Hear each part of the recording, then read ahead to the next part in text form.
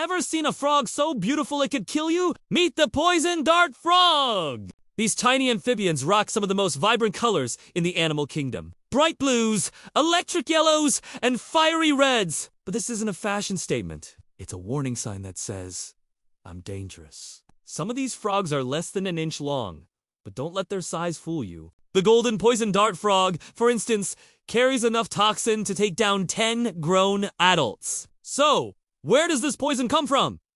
Surprisingly, they don't make it themselves. Their toxicity comes from their diet of toxic ants and mites in the wild. In fact, when raised in a zoo, they're completely harmless. Indigenous tribes in South America famously use their toxins on hunting darts, which is how they got their name. And get this, they're amazing parents. Many carry their newly hatched tadpoles on their backs, to tiny pools of water in plants. Pretty cool, right?